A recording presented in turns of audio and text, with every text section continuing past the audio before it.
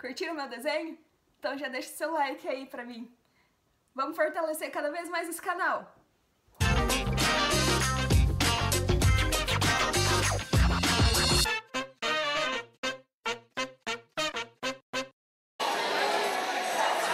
Eu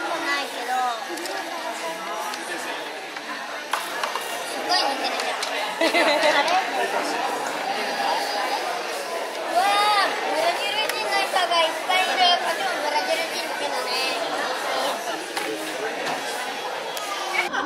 aqui no evento e acabei de fazer uma caricatura.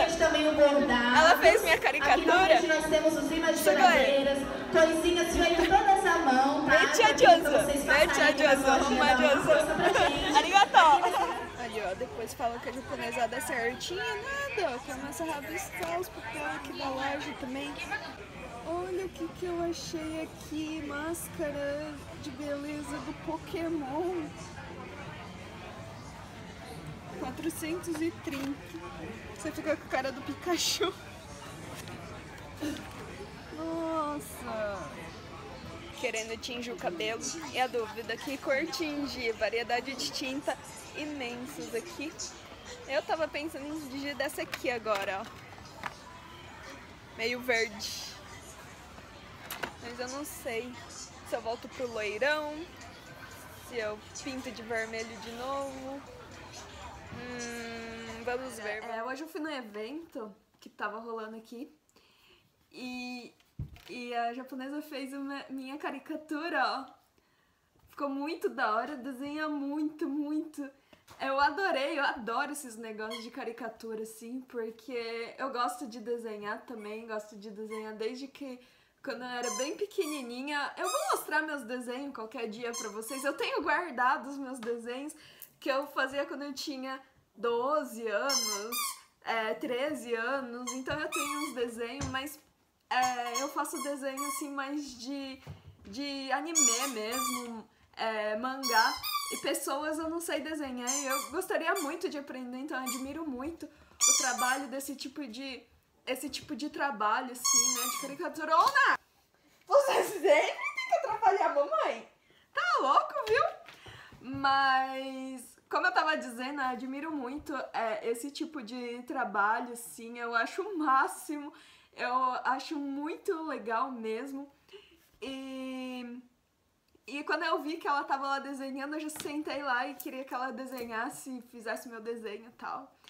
E tá muito, muito quente aqui no Japão. Tá chegando é, temperaturas de 35 graus, dependendo do dia. Tá chegando a 35, 36 graus, um calor assim que você olha assim e vê aquela miragem, até sair aquela, aquele, você dá pra ver o mormaço assim no asfalto.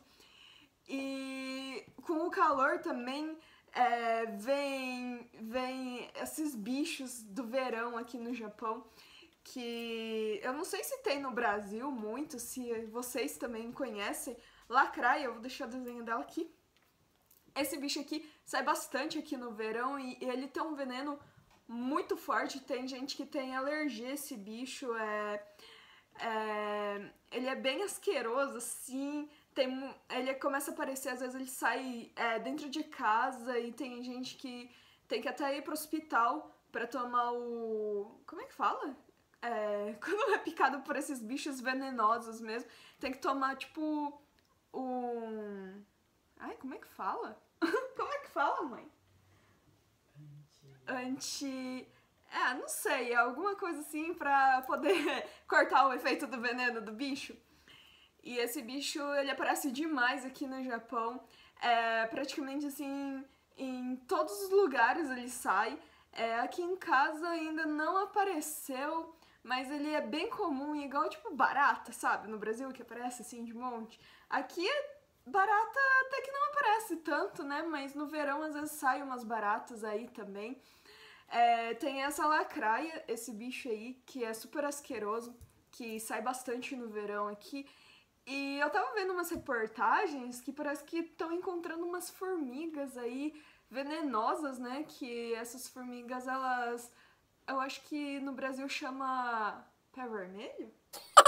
Aquelas formigas lá que que tava achando no porto de Kobe, tava achando nos portos de Nagoya, que parece que eles estão enviando essas formigas aqui pro Japão. E essas formigas parece que matam bastante pessoas por ano, né? E no Japão não tinha esse, esse caso dessa formiga e esse ano tá aparecendo aí essas formigas. Então a japonesa tá com medo dessa formiga. Tem um tipo de aranha também, mas eu não lembro se era aranha marrom, é, que também começa a aparecer essa época do ano, que é uma aranha bem pequenininha também, e falou assim que tem um veneno super potente. E carrapato. Carrapato eu nunca vi, assim, é, japonês ter tanto medo de carrapato. No Brasil é tão comum, né? Você vai lá no pasto, nas fazendas lá e volta cheio de carrapato grudado, tem carrapato no cachorro. Mas aqui no Japão, se caso o seu cachorro, assim, tá com carrapato grudado assim, os veterinários, assim, os japoneses falam que você não pode nem relar. Você tem que levar o cachorro no veterinário, porque dependendo do jeito que você arranca o carrapato do cachorro, ele pode contaminar seu cachorro e tem uma doença do carrapato, que eu sei que isso todo mundo conhece, mas falaram assim que eles têm tanto medo que que eles evitam, assim, de ir em lugares, assim, que falam que tem carrapato e a gente do Brasil, né, é, assim, principalmente eu quando era criança, eu vivia no mato, vivia andando descalço, corria no mato tal, entrava no mato, às vezes tinha carrapato que grudava em mim e, e nos meus cachorros também, meu pai, eu lembro que catava as pulgas, carrapato dos meus cachorros lá, às vezes espremia assim, ou catava e jogava no álcool já, não dava nada não, e essa frescura de carrapato aqui no Japão que fala que é perigoso, que pode matar, que transmite doença, que transmite doença, tá, isso todo mundo sabe, né? Mas não é um bicho assim que você tem que, é, se tiver grudado em você, você vai ter que ir no médico para tirar. Você mesmo pode tirar, depois desinfeta com álcool, não sei, de boa, né? É, os japoneses, eles são muito medrosos, assim, com esses bichos que falam que transmite doença ou, ou tem veneno, assim. Então, eles são muito, assim, cagões, digamos assim. E fora isso, esses bichos também tem os pernilongos aqui no Japão, que parecem uns bois voando, umas vacas, assim, que quando te pega, você fica com os vergão, assim, na pele mais de um mês. Bom, pelo menos eu, né? Não sei se eu sou alérgica a esse pernilongo do Japão, mas quando eles me picam, nossa, eu fico com uns vergão, mas uns vergão mesmo, assim. Tipo, fica, fica um mês, assim, coça, coça praticamente uma semana inteira. Mas esse, esse pernilongo, eles são, não sei, meu, parece que quando você faz exercício, principalmente eu que corro, né? Você tá correndo lá, você tá suando, parece que eles vêm mais em cima de você e às vezes junto um monte, mas um monte mesmo. Tanto é que outro dia o Teiro saiu aqui fora e a hora que ele entrou, ele trouxe uns cinco pernilongos, só sei que veio junto, assim, uh, atrás dele, assim, e eu olhei assim, tava um monte de pernilongo voando atrás dele e eu e ele matando os pernilongos depois.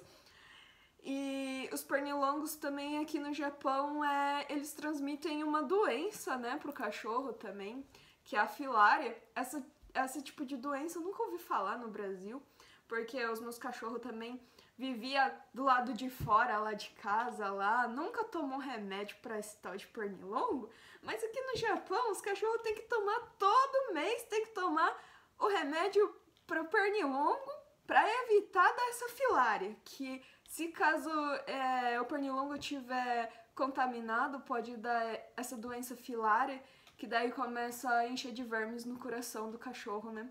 E ele acaba morrendo. Mas eu nunca tinha ouvido falar nessa doença também, porque no Brasil é tão comum, né? Os cachorros viver fora de casa e viver junto com os pernilongos e nunca ouvi falar no Brasil que um cachorro morreu por causa desse tipo de doença. Lógico que deve ter casos, alguns casos raros, mas aqui no Japão, quem não dá é, esse remédio de pernilongo para os cachorros, é, tem bastante caso e, e, é direto, assim, que tem gente que fala que perdeu o cachorro porque esqueceu de dar este ano o remédio de filária. Então eu acho que é uma doença, assim, que, que tem mais aqui no Japão do que no Brasil, porque eu nunca tinha ouvido falar. E é isso, os pontos negativos do verão aqui do Japão são esses animais asquerosos que saem, esses animais, insetos, né? insetos, né? Animais, esses insetos asquerosos que saem aqui no, no Japão, como em qualquer outro lugar do mundo. E esse verão que é um calor muito, muito, muito diferente do Brasil, é um verão muito abafado, muito. Ai, não sei, você sai lá fora assim, é, fica tudo já grudando, é tipo calor de, de praia, sabe? Com bastante assim, é, mormaço, não sei. Não sei, é diferente, é diferente o verão daqui comparado do Brasil. Tanto é que quando eu tava no Brasil eu não ligava tanto quanto era verão. Agora, como eu tô aqui no Japão, chega o verão eu já fico desanimada, né? Mas fazer o quê? É essa a nossa vida aqui no Japão. Já deixa seu like aí pra mim. Pra, esse foi o que eu queria passar pra vocês. Então enche de like aí. É, compartilhe o vídeo com seus amigos. Compartilhem com, com todo mundo o vídeo e vamos fazer esse canal crescer, né, galera? Eu vou ficando por aqui e até a próxima. Tchau, fui!